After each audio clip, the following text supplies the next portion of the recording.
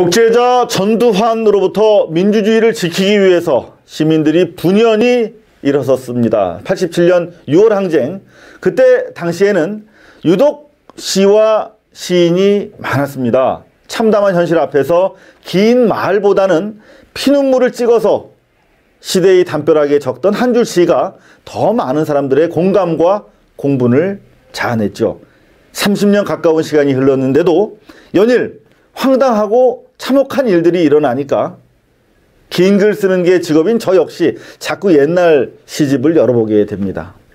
글이라기에는 너무도 절절한 그래서 시라고밖에 할 수 없는 날선 단검 한자로 서혜성 교수가 보내왔습니다. 3문 직설입니다. 하루가 그저 하루인 날들을 태평하다고 할 수 있을 것입니다. 하루가 하루로 그치지 않는 날들이 많은 게 한국 근현대사입니다. 해방 이후 68년은 숱한 장기 하루로 채워져 있습니다.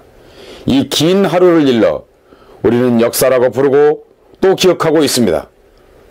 4.19가 단지 하루일 수 없고 5.18이 하물며 하루일 수 없거니와 6월 10일 동안 하루일 수가 없듯 MB 정권에 시달리던 주권자들에게 지난 12월 19일은 한낮 하루일 수가 없었습니다. 그날은 5년짜리 하루였습니다. 5년 동안 하루같이 기다려온 날이고 앞으로 5년을 기약하는 날이기도 했습니다. 승패를 떠나 대선은 실로 늘 5년짜리 하루입니다. 주권자에게 이날은 5년짜리 하루입니다.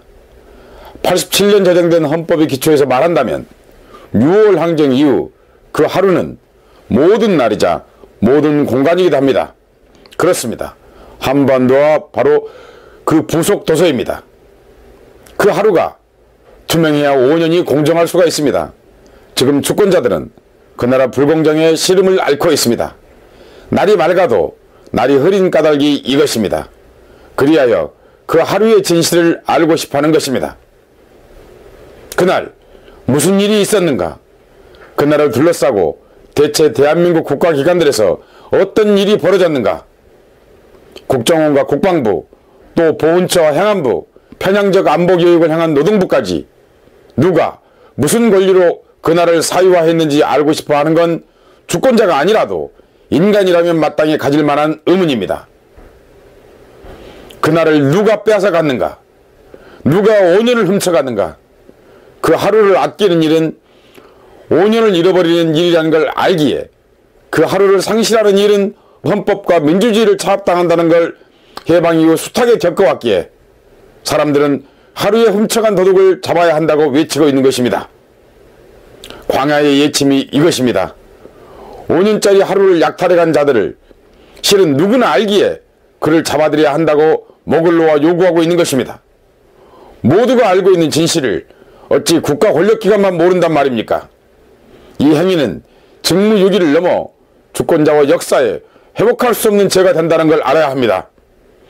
이는 벌거숭이의 낫에 분노하지 않는 자 또한 마찬가지입니다. 하루를 빼앗겨 5년만이 아니라 공화장의 심장까지 빼앗길 수는 없기에 오늘 또 고작 촛불 하나의 의지에 광야에 나서고 있는 주권자들의 발자국 소리를 듣지 못하는 자 귀부터 썩을 것입니다. 3분 직설했습니다.